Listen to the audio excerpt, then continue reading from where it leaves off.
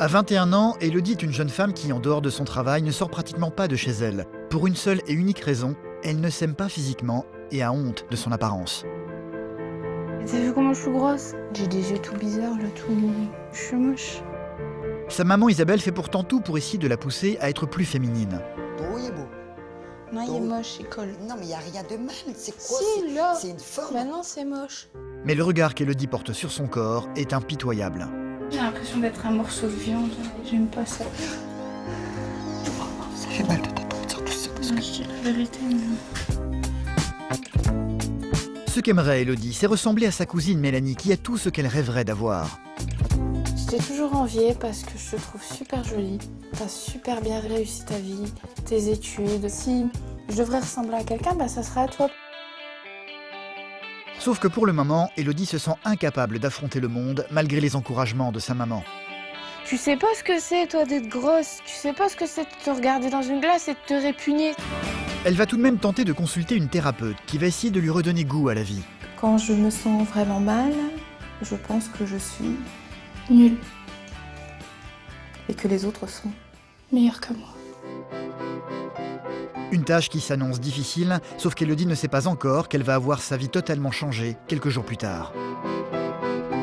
Je me déteste, je me trouve moche, je, je n'ai pas du tout confiance en moi.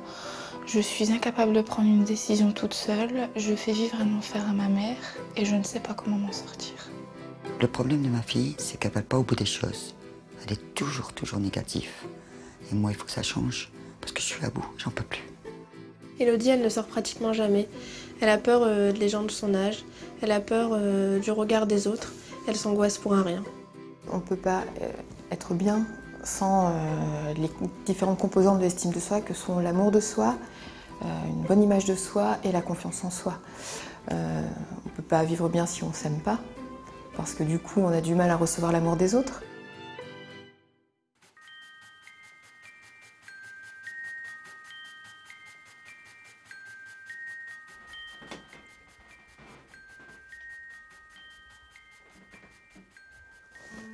Au réveil, c'est tous les jours le même rituel pour Elodie. Après un rapide coup de brosse, elle va poser sa crème hydratante. Autant de gestes qu'elle fera en prenant bien garde de ne jamais croiser son reflet dans le miroir. J'aime pas me regarder dans la glace parce que pour les gestes qui se font assez facilement ou des gestes qui nécessitent pas d'être regardés, je je le fais pas parce que je déteste mon reflet. Donc du coup, je me regarde pas, ça évite de, de remuer le couteau dans la plaie. À 21 ans, Elodie est une jeune femme terriblement complexée. Elle vit chez sa maman Isabelle et ne sort que très peu de chez elle par peur du regard des autres et surtout des jeunes de son âge. Elodie n'a donc pas d'amis. Sur les photos, elle n'apparaît qu'avec les membres de sa famille. Mais sur les photos, c'est vrai que je suis pas toujours entourée. Mais je suis quelqu'un d'assez solitaire. J'aime bien être euh, toute seule à la maison, dans mon petit cocon, mes petites affaires, d'être tranquille. C'est moi qui me mets un peu en retrait.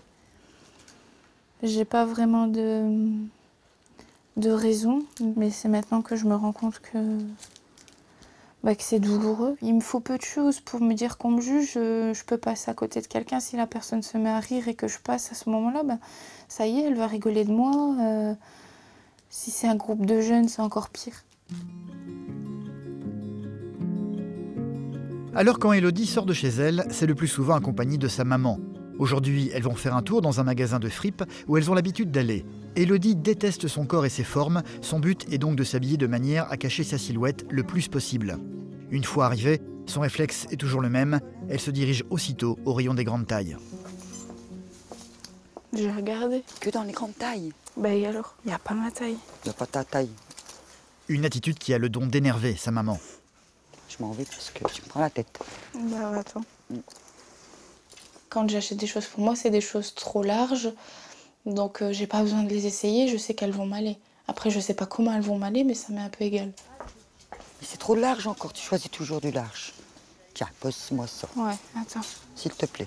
Attends deux secondes. Car c'est large, Même je sais pas, c'est pas terrible. c'est uniforme. Celui-là, non Il est plus large, il est moins collant.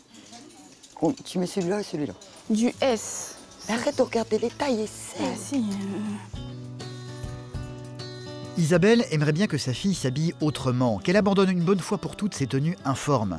Alors régulièrement, elle tente de lui proposer des tenues plus féminines, même si elle sait déjà qu'Elodie va les refuser.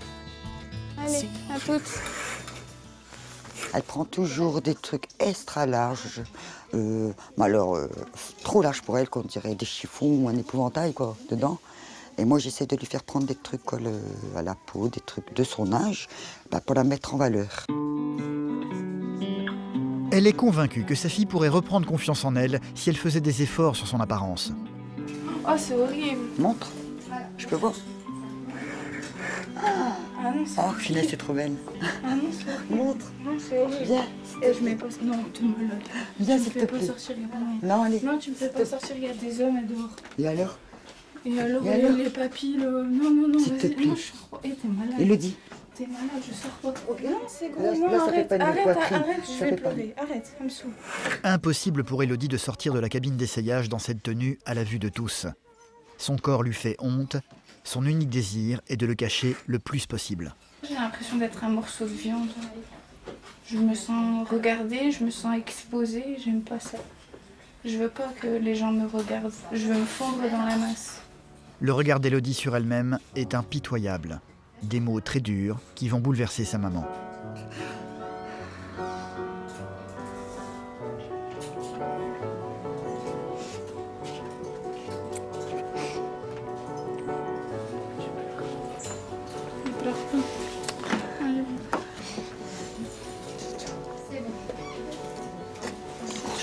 Ça fait mal de t'entendre tout ça. Parce Non, que je dis la vérité. mais- je sais, mais t'es pas morceau t'es pas. Bah si, j'aime pas que les gens ils me regardent. Au moins je suis regardée, au mieux je me sens à l'aise. C'est dur d'entendre sa propre fille dire ça. Mais je me doute, mais je, je le fais pas, je te dis pas ça pour te faire du mal. Je sais. C'est ce que je ressens. Bah, moi, c'est la douleur que je ressens pour toi quand je t'entends dire ça et que je sais que t'as- beaucoup de qualités, même avec tes rondeurs. Bah ça viendra tout doucement. Je vais essayer de faire des efforts, je te promets. J'essaierai de faire des efforts, d'accord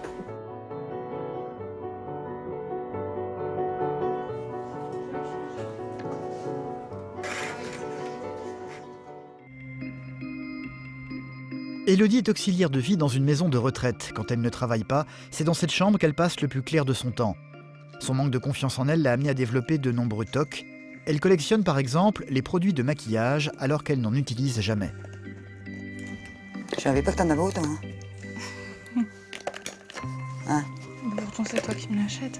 Et tu te maquilles jamais? Parce que je suis moche. Mais qu'est-ce que t'aimes pas en toi? Pourquoi tu t'aimes pas, toi? Mais tu m'as vu- J'ai vu quoi, s'il te plaît? Mais t'as vu comment je suis grosse? Mais il n'y a pas que ça. Moi, j'en suis sûre, il n'y a pas que la grosseur. Ça en fait partie de ton poids. Je sais que ça, ça en fait partie. Mais dis-moi, il y a autre chose. J'ai des yeux tout bizarres là, tout. Oh, T'as des beaux yeux, t'es magnifique. J'ai pas l'intention de te faire pleurer. Moi aussi, ça me fait mal, Elodie. Bah oui, mais moi, d'être heureuse, ça passe à travers les autres. Après, moi, je m'en fiche. Non, justement. Qui t'aime te suit, ma puce. Bah, y a personne qui me suit.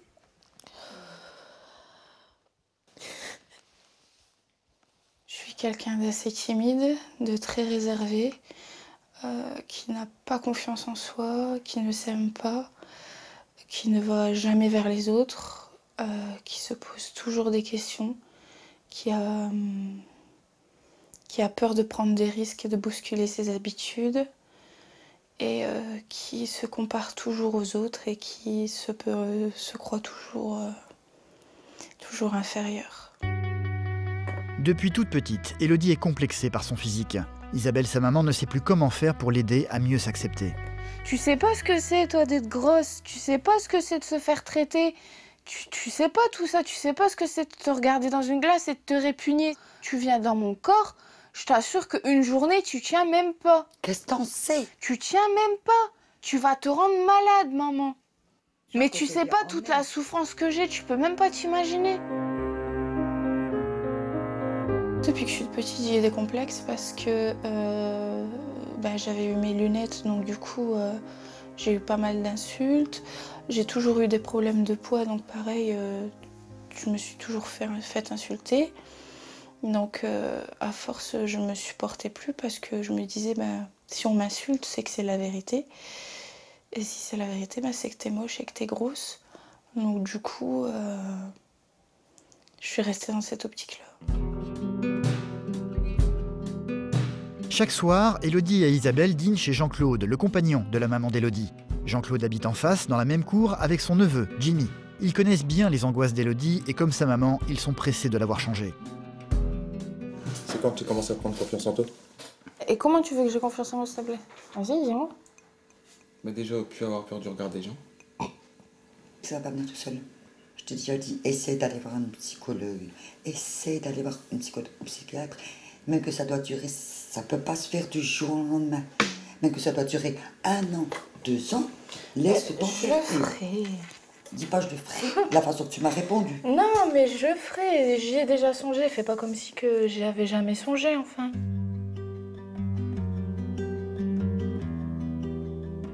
Changer toute seule, c'est pas facile, donc euh, je me rends compte que c'est pas une vie, mais euh, on va dire entre guillemets que j'ai pas trop le choix. Donc euh, je continue euh, à être comme ça. Il est 20h. Pour Elodie, c'est maintenant l'heure de son feuilleton préféré. Sa maman et elle ne loupent jamais un épisode avant de s'endormir comme à leur habitude, ensemble, dans le même lit. Moi, je sais. Elle a tellement dormi avec moi, euh, étant petite, ma fille, Elodie. J'ai jamais, j'ai jamais, j'ai jamais su m'en séparer. Fais le bisou. À demain, maman. Je t'aime. Si, dors bien.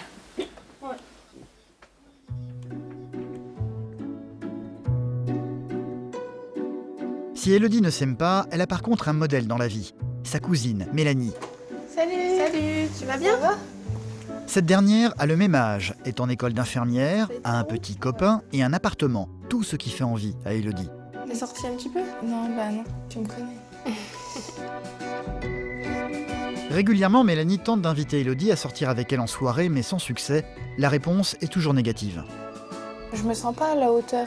Je me sens inférieure à tout, que ce soit physiquement, pour tenir une conversation, pour tout. Donc, euh, Mais tu sais, il n'y a pas que toi qui est dans ce cas-là. Il y a plein de monde qui, à un moment donné dans leur vie, ils sont pas bien. Et, et au contraire, d'aller vers les autres, ça permet euh, d'en parler, euh, ouais, de voir qu'on n'est pas mais seul face à. C'est pas évident aussi d'en parler. Je veux pas aller vers les gens et dire coucou, je m'appelle Elodie, euh, tu sais, j'ai pas du tout confiance en moi, mais bon, tu vas être mon amie. Non, mais tu vois, Ouais. c'est pas du tout Ouais, je me facile euh, à aborder. Mais justement, quoi. quand t'es avec moi, c'est. Toi, justement, je t'en ai jamais parlé. Et euh, c'est vrai que toi, je t'ai toujours enviée. Je sais pas si tu l'as remarqué. Bah non, tu sais. Je t'ai toujours enviée parce que je te trouve super jolie. T'as super bien réussi ta vie, tes études. T'es vraiment mon modèle. Je veux dire, si je devrais ressembler à quelqu'un, bah ça serait à toi. Peut-être, tu dis je suis jolie, j'ai réussi ma vie, mais enfin, je me suis battue pour ça. Et puis c'est. Même que maintenant je suis bien, euh, des fois il y a des moments où je suis pas bien. euh, Et aussi c'est beaucoup ton apparence qui t'empêche d'aller vers les autres et tout Ouais. ça. Mm. Donc, Ouais, parce que je me néglige. Tu vas peut-être essayer de changer quelque chose ou? Ouais, je vais, je vais y réfléchir. Je réfléchis pour euh, la Ça coiffure ou ça te donnerait plus confiance en soi, justement. Ouais, d'avoir des Quelqu'un qui t'aide à. Mm. Oui, la conversation que j'ai eue avec ma cousine, ça a été assez important parce que ça n'arrive euh, jamais que je parle de ces choses-là avec elle. Et euh, comme c'est euh, mon idéal, je me dis, si elle, elle me voit comme ça, c'est vraiment que je le suis. Donc c'est vrai que ça m'a poussée, même si j'en avais déjà envie, j'avais vraiment... Enfin voilà, voilà j'ai envie de changer. donc je voulais déjà le faire. Mais elle m'a vraiment euh, encore plus poussée à le faire parce que euh, je savais pas qu'elle me voyait de cette façon. Elodie a manifestement envie de changer. Sa maman voulait qu'elle consulte un psychologue, mais c'est une chose qui l'effraie un peu pour le moment. Elle a donc pris contact avec une conseillère en développement personnel se trouvant à Valenciennes. C'est toute seule qu'elle a fait cette démarche, avec une certaine appréhension tout de même. J'appréhende un peu de comment ça va se passer. J'ai un petit peu peur de l'inconnu, de la nouveauté, du changement. Mais en même temps, il faut bien que ça change, donc euh, je me lance à l'eau, puis on verra bien. Pour dépasser ses complexes, Elodie va devoir faire quelque chose qu'elle ne fait jamais, parler d'elle à une inconnue. Bonjour, enchantée. Merci. La conseillère en développement personnel, la voici. Elle se prénomme Anne et va immédiatement chercher à connaître les racines du mal-être de la jeune femme. Depuis, euh, on va dire entre guillemets toute petite, j'ai toujours eu des problèmes de- sur l'estime de soi. Et euh, là, ça commence vraiment à me poser problème parce que euh, je suis dans un cercle vicieux où ça, vra- ça m'empêche vraiment d'avancer. L'apparence, c'est important? Pour moi, très important. Je suis très complexée euh, par mon poids. Euh, je m'aime pas du tout. Je me regarde pas dans la glace, sauf vraiment quand c'est nécessaire. Mais euh, je ne supporte pas du tout mon image. Dans le fond, votre problème, c'est quoi? La confiance en soi. Ok. La thérapeute va commencer par pratiquer un jeu de questions-réponses très rapide. Je vais commencer les phrases et vous allez les finir. D'accord. Ok? Pas de. Donc, euh, je vais parler à la première personne. hein. Donc, quand je me sens vraiment mal, je pense que je suis Nul. Et que les autres sont. Meilleur que moi. Et donc que pour survivre, je dois. Disparaître. Essayez de bien vous caler. hein. Vous allez regarder le mur blanc là, comme un écran de cinéma. Et puis, vous voyez sur cet écran euh, la petite Élodie. Vous la voyez? Alors, qu'est-ce qui se passe? Regardez là. Elle n'est pas heureuse. Elle n'est pas heureuse. Elle est renfermée sur elle-même. Est-ce que c'est juste ce qui lui arrive Non, mais elle ne peut pas y faire grand-chose. Non, mais vous Euh. pouvez lui dire ça que c'est pas juste. Oui. Et qu'elle a le droit à, à tout ça. Mhm.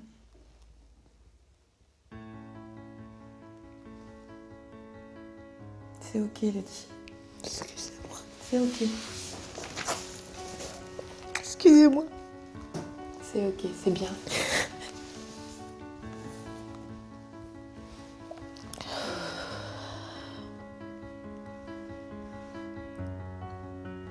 La petite Élodie, elle a besoin qu'on la prenne dans ses bras.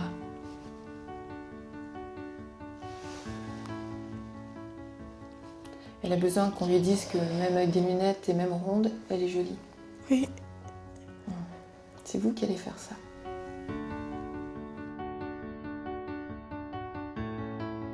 La petite Élodie, elle est où là? Elle est en train de sortir, s'évacuer, se... Et qu'est-ce qu'elle dit? Que ça va aller, que je vais- on va prendre un nouveau départ et que tout va bien se passer. Et elle se sent comment la petite? Libre. Libre. Ah. Libre et plus sereine. Donc l'étape d'après, Se regarder dans une glace, Mhm. relativiser, prendre soin de soi. prendre soin de soi, se respecter, s'estimer. Eh ben, allez, c'est parti. hein. Bah oui. Moi, je suis très contente de la séance qu'on vient d'avoir parce qu'elle a été très réceptive, elle a joué le jeu, elle n'a pas trop résisté en fait. hein. Donc je sens vraiment de la motivation chez elle, hein, vraiment une envie de changement. J'aurais jamais cru apprendre autant de choses sur moi en si peu de temps. Euh, ça donne vraiment envie de, de continuer, de, de se battre pour y arriver. Et euh, là, vraiment, j'ai l'impression que j'ai toutes les cartes en main. C'est quelques jours plus tard qu'Elodie va devoir passer à la pratique. Anne a pris rendez-vous pour elle avec une relookeuse. Elle en est persuadée, Elodie retrouvera de la confiance en elle si elle apprend à aimer son apparence. Ça va, t'appréhendes pas trop? Bah si, un petit peu. Mais bon, après je fais confiance et puis on verra bien le résultat. Bonjour te laisse entre de bonnes mains, Oui, on se verra plus tard, j'ai hâte de voir ça. il n'y a pas de souci, merci beaucoup. Allez, amusez-vous bien. Première étape pour Carole, la relookeuse, améliorer la silhouette d'Elodie en commençant par le décolleté. Celle-ci doit être fière de ses formes. Carole ne va donc pas hésiter à lui faire essayer des choses qu'Elodie n'a absolument pas l'habitude de mettre. Bah effectivement, c'est sexy. Ah oui, ça change. regardez. Ah oui, là c'est du balconné. Hein. Là, il y a du monde au balcon. Hein. Parce qu'on a des rondeurs qu'on n'a pas. Ah bah non, puis si vous mettez pas maintenant, vous mettrez quand? Hein? Bon. Tout ceci se passe dans les rires et la bonne humeur. Elodie semble même en oublier sa gêne habituelle. C'est très féminin. Ouais, j'adore. Et ça vous maintient bien. Voilà. Par rapport à tout à l'heure, ça vous transforme déjà le corps. Quoi. Et puis, à la fin de la journée. Non, je pense pas, non.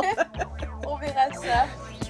Elodie n'a pas l'habitude qu'on s'occupe d'elle comme ça. C'est donc tout doucement qu'elle va se détendre et faire confiance à Carole qui va ensuite lui proposer un large choix de tenues toutes plus féminines les unes que les autres. Des choses que d'ordinaire, Elodie aurait refusé d'essayer. Tu essayes la robe, Oui. tu mets le leggings. D'accord. Et une fois que tu es prête, tu m'appelles. J'appelle. D'accord Pas de souci. Elodie va ressortir de la cabine d'essayage en n'étant plus tout à fait la même. J'ai fini. Tu peux sortir et te regarder. Vas-y. Oh, c'est pas possible. Comment tu te trouves Mais je parais toute fine. Mais voilà. Ah non, c'est super joli. Ah Ça te plaît? Tu te sens bien? Ah ouais, je parais toute mince. On dirait que j'ai au moins 10 kilos en moins. Voilà. Faut pas cacher tes rondeurs. Ah ouais, non, mais c'est super joli. Allez, on va essayer autre chose. Là, on change tout. Oui. D'accord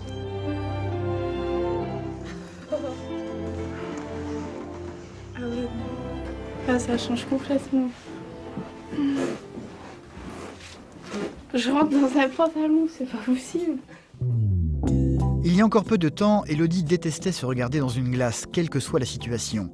Mais aujourd'hui, elle semble complètement hypnotisée par son reflet. Tu te sens belle? Complètement. C'est vrai? Ah ouais, non.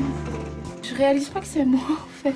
J'ai l'impression que c'est quelqu'un d'autre, que que c'est pas mon reflet dans le miroir. Je me voyais pas, je me voyais pas du tout comme ça. C'est, je trouve pas les mots tellement je suis, je suis toute, euh, toute émue, toute, euh, toute étonnée. euh. Et c'est là que je me dis qu'en fait j'ai pas de raison d'être complexée. Il suffit juste de d'avoir les bons outils, de savoir s'habiller, puis après c'est parfait.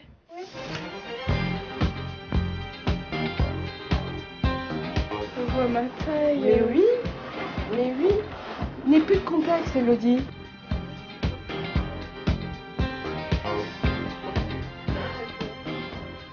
Je, je regarde tout dans les détails. J'essaie de trouver ce que j'aimais pas avant. Donc j'aimais pas ça, mais Oui. je vois pas. J'aimais pas mon ventre, je le vois pas. Je disais que j'avais des mollets de camionneur, je les vois pas. Voilà. Je, je vois plus rien, c'est incroyable. Je vois une jolie jeune femme. Tu vois, et tu peux te permettre du cours. Je suis plus un bébé, je suis plus la petite fille à sa maman, je suis une femme.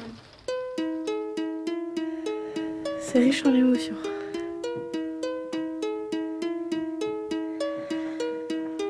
Tout ceci est très nouveau pour Elodie qui semble redécouvrir son corps.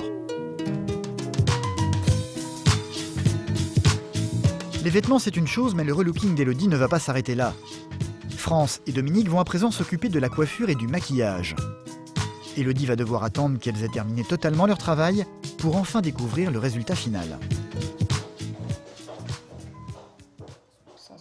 C'est debout, devant cette glace, qu'Elodie va découvrir son nouveau visage. Un, deux, Trois Chose la magie. On touche pas, on regarde. Oh là, je vais plus quitter mon miroir. Alors Euh, je vais pas pleurer, je suis maquillée, c'est Ah plus. non, on n'a pas le droit là. Ah, Impossible. c'est super joli. Oh, On dirait une femme fatale. ah, j'adore. Ah non, ouais, c'est. Ah, j'hallucine. Comme quoi, il y a des miracles, hein, faut pas attendre Noël. Mais effectivement. Ah non, on dirait pas moi. Comment tu te sens tu es jolie. Ah, je me sens trop canon là. Regarde tes yeux. Mais Ah ouais, oui, c'est magnifique. même mon visage, il est bien. Euh, Ça, c'est les mèches. Oui, Je pense, puis hein, euh, même ça, ça fait pas gros. euh, il est bien. Le miroir, il faut bien regarder quand on est devant. Oui, voilà. Il faut pas l'éviter. Voilà, pas que chez les autres, chez soi aussi. Ah non, c'est super joli.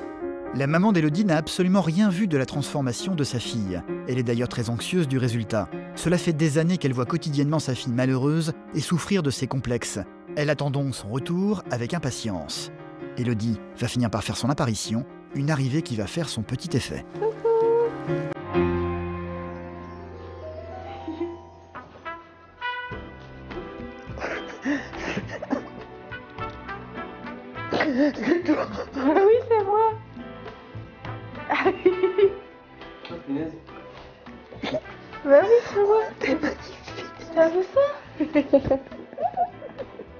Je savais que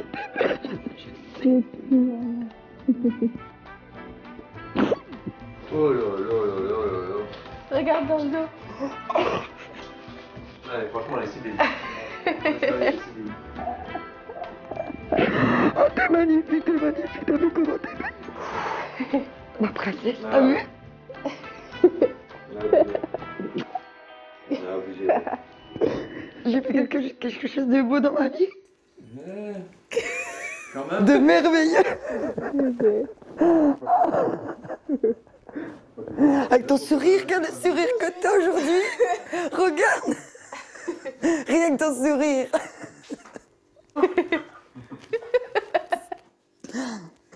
Ta façon de me regarder. Je te regarde. C'est pas le même regard, c'est... Ah Quand t'as vu Elodie pour Le la sourire première comme ça fois sourire comme ça. Il y a longtemps. Bah moi Franchement, il y a très longtemps. Tu m'as déjà vu à jour, toi Ouais, de temps en temps, je te vois sourire, toi. Ouais, mais non, comme ça, de rire euh, comme ça, non, franchement, je te l'avais jamais dit. Bah ouais, c'est pas pareil. franchement, hein. jamais. Elle vaut mieux tard que... je- Euh... Oui, Ouais. je sais plus. De retour chez elle, Elodie va devoir désormais entretenir son nouveau look, une chose pas si simple à faire pour quelqu'un qui avait abandonné depuis longtemps l'idée d'être séduisante.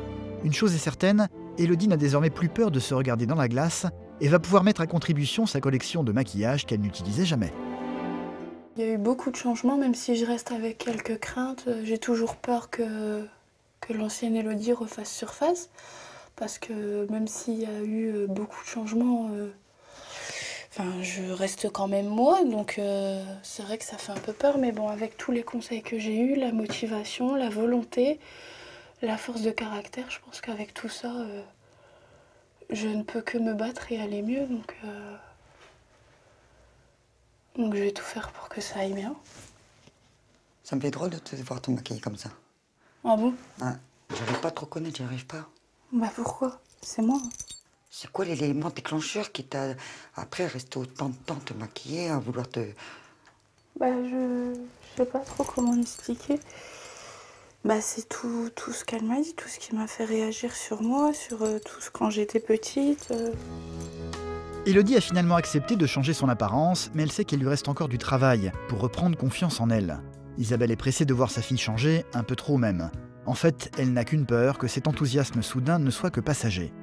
Il y a une peur en moi qui me dit, est-ce qu'elle va rester comme ça ou, pas Ou est-ce qu'elle va se remettre dans son cocon et se renfermer et redevenir la fille qui s'aimait pas, la fille qui avait pas confiance en elle, la fille qui avait peur de tout, ma fille, quoi. Pour le moment, Elodie ne semble pas avoir l'intention de revenir en arrière. Elle a même accepté pour la première fois de sortir avec sa cousine Mélanie dans l'un des bars de la ville. Une chose qu'elle refusait systématiquement de faire par le passé, par peur de se retrouver face à des gens qu'elle ne connaît pas. Mélanie est déjà à l'intérieur avec l'une de ses amies, Sarah. Tu vas bien? Ça va toi? T'es toute jolie. Merci. T'as coupé tes cheveux et tout? Bah ouais, Ça fait joli. merci. Tu t'es quand même habillée en noir? Bah c'est pas moi, hein, c'est mon relooking. euh. Ça fait super bien. Merci, c'est gentil. Maquillage, coiffure. Ça va toi aussi? Et toi, ça te plaît? Bah ouais, carrément. Tu le trouves comment le serveur? Comme un garçon. Non mais il est mignon. Excusez-moi, monsieur. Une petite question. Elle vient de se faire relooker. Qu'est-ce que vous pensez de son. Vous pensez Le maquillage est discret, ça va, ça lui va bien. Merci. Mais euh, ça met en valeur les yeux surtout. Merci. Ouais, il a des beaux yeux. Bon merci en tout Ah, cas, merci c'est très gentil.